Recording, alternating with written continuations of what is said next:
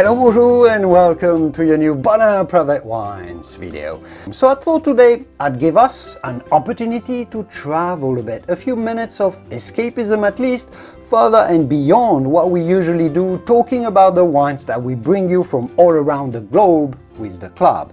Today we're talking about what are possibly the five most unexpected winemaking locations from all around the world, those places you probably never knew and certainly would never have expected them to be making wine, and it'll take us from tropical islands to some of the highest mountains in the world, through cold and foggy vineyards in the UK, a tax haven in a cold part of Europe, yes, and beyond.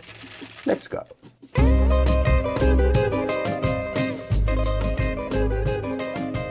I guess the French have to make wine on every territory that they rule.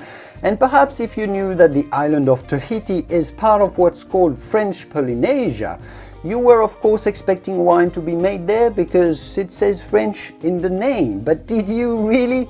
We've talked about this in a previous video, but quality wine growing normally can only happen in relatively narrow strips around the Earth, north and south, between the 30th and the 50th parallels, around the middle point between the equator and the poles.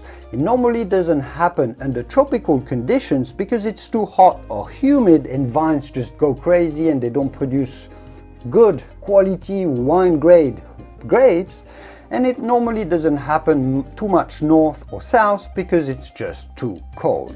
It takes moderate temperatures to make good wine, generally speaking, and we'll also see later in this video that wine can actually be made way farther up north than we would have imagined. But humans are resilient and persistent and they do love wine, so they do grow it everywhere, and I guess that's especially true for the French.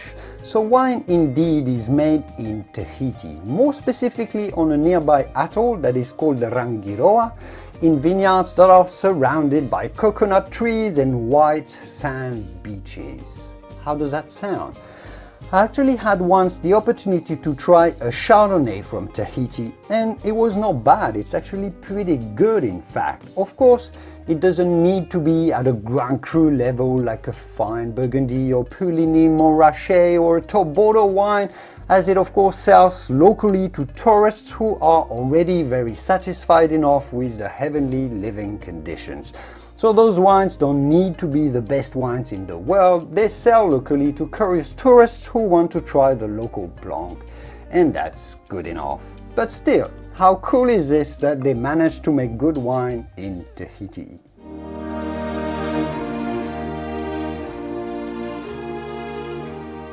If I'm perfectly honest, I've often been told that Americans are really bad at geography, but you kind of see where Luxembourg is, do you?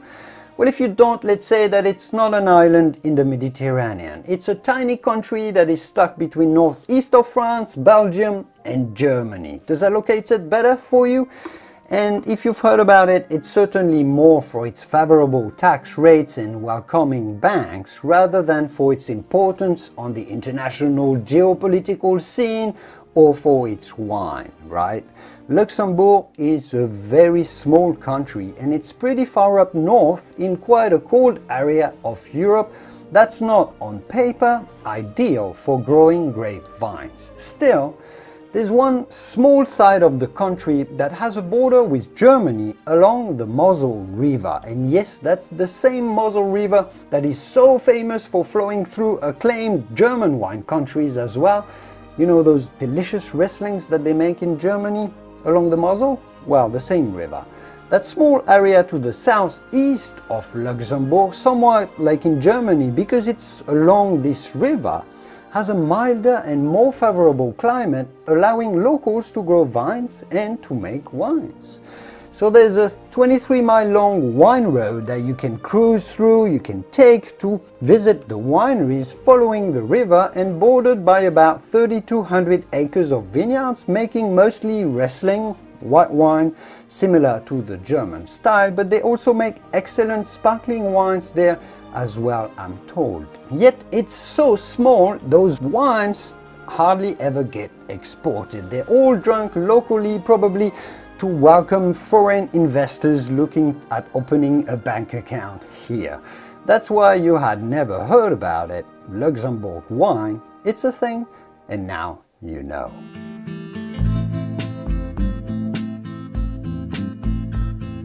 Alright, I must confess that personally I'm not that familiar with Wales. I've never been there. I've been to England, Ireland, never Wales. So I was looking online for what is Wales famous for. Do you know? I heard personally about Wales uh, from rugby because I follow rugby and I have in fact some horrible memories of a game I was attending with very unpleasant Welsh supporters, but that's another story. Hotels.com says about the country, quote, Wales is an absolutely beautiful country famous for the rolling valleys and rugged mountains of its massive national parks. The people there are welcoming and friendly and known for the lyrical lilting their accent. End quote. Sure, Wales is famous for this, its accent and language that is very different, somewhat exotic.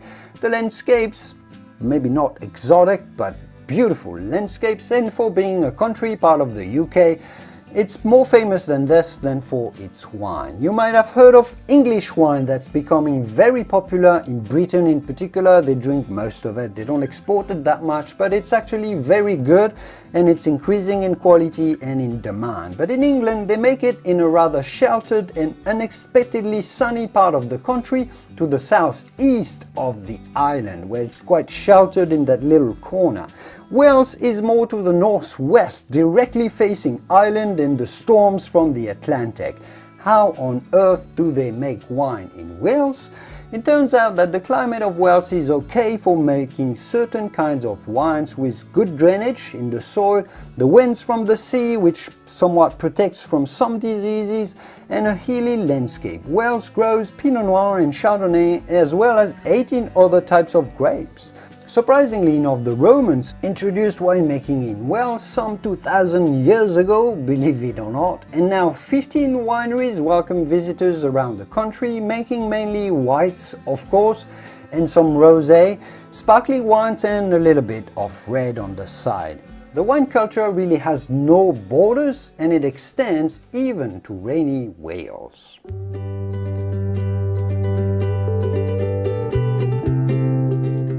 Now, in case you didn't know, Tibet has a huge wine culture, very ancient wine culture in fact, and apparently everyone there is into it from the very young to the very old, the male, the females, everyone loves wine in Tibet. It's a way to keep the bodies and the hearts warm, I'm told, and it's very important traditionally during celebrations as well. Did you know that?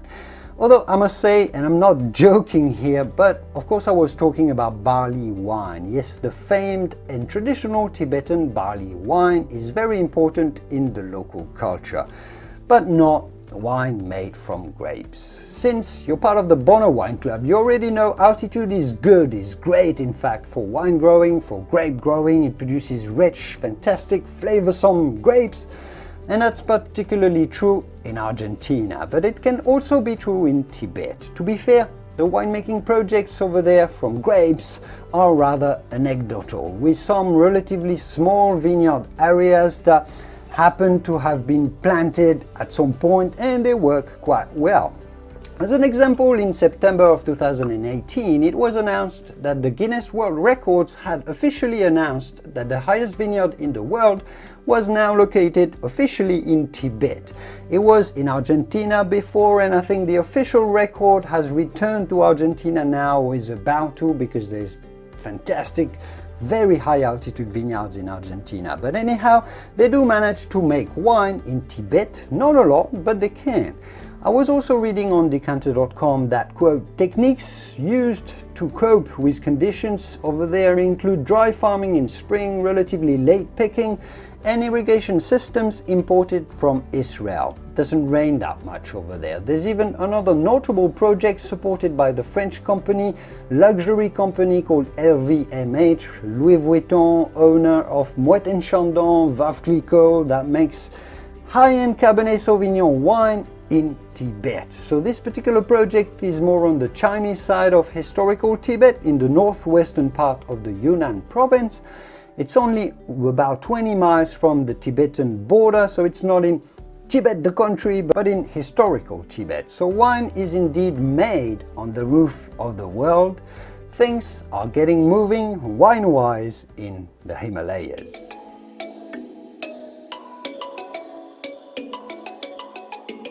So we've done tropical wine, tax exempted wine, rainy wine, roof of the world wine. Let's talk about ice wine now.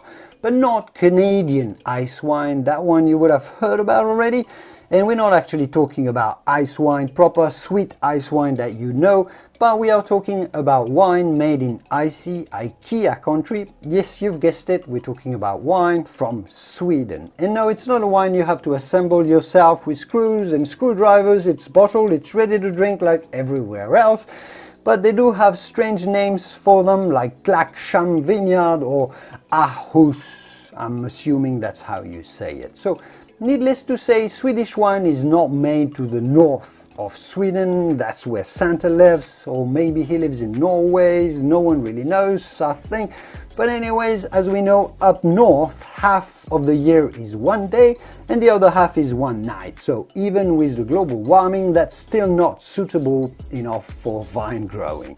Swedish wine is in fact made at the southernmost point of the Scandinavian peninsula in a province that's called Scania, or Skåne in Swedish, which has an annual average temperature of 47 degrees Fahrenheit, an average temperature in July of 63 degrees Fahrenheit. But they managed to pull this off, and the global warming does help for this there. Expectedly, the wine industry in Sweden is still very small, but actually growing thanks to the global warming and other things I'm sure. There's over 30 different vineyards in the area. Their trick to make wine is to use especially developed and selected grape varieties that are called hybrids and that can grow under very cold conditions. Same trick they use in some parts of Canada and around the Finger Lakes of New York as well. Those grape varieties in Sweden are German bred grapes because the Germans are really good at developing new types of grapes. In Sweden they use Solaris and Rondo if you want some names. Those are white and red and so they can make some rosé as well.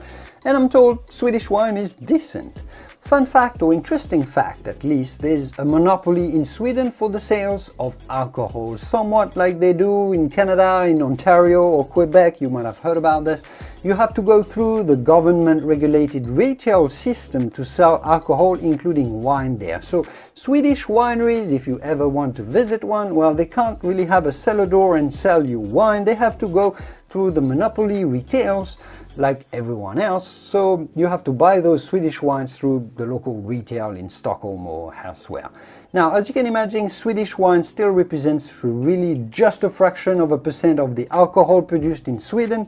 Vodka is still the big thing over there, absolutely. Still, Swedish wine is a thing. And I'll leave it here for today. I hope you enjoyed this little escape around the globe and the most unexpected wine growing areas from around the world, even off the beaten tracks that we know outside of France, Italy, the US, South America, Argentina. The world of wine is indeed full of surprises and wonders. Thanks for watching. I will see you soon in the wonderful, indeed, world of wine.